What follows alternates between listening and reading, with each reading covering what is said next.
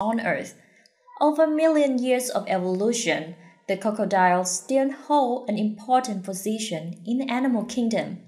It's considered a dangerous and fierce species. They are the king of swamp. However, they do not always win, especially when confronted with the power from the motherhood of elephant. The motherhood is the most precious thing, not only with human, but also with animal. The following scenarios show you more about this.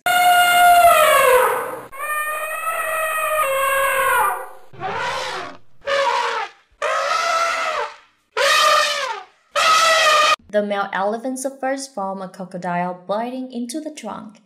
The trunk is the most sensitive spot on the elephant's body. The elephant screamed loudly to the point of almost standing up on its hind legs. With all power, the elephant threw the crocodile around the water. The animal stubbornly refused to let go. Ornate cell like the reptile that lived in prehistoric times, crocodile carry in themselves the hidden power from ancient times, helping it to become the king on swamp and river. The female elephant can only give birth one baby at a time, and this baby elephant will be the centers of care and attention of the whole herd. Other elephants often use their trunk to cuddle the baby elephant.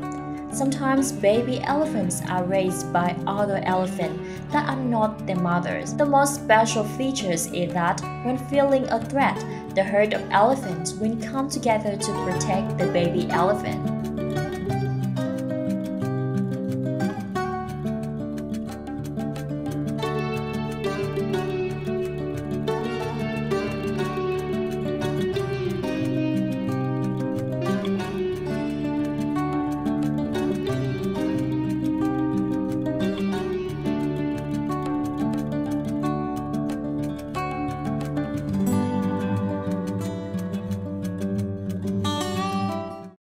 Due to live underwater, crocodile limbs and tail perfectly support for the swimming ability. The tail is very strong, We can reach speed of 32 km per hour.